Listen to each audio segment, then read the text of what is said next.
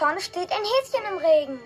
Ja, richtig, Boots. Ich glaube, es sucht nach unserem Freund Unicorn. Er ist ein Einhorn, das hoch in den Wolken lebt. Wenn ihr das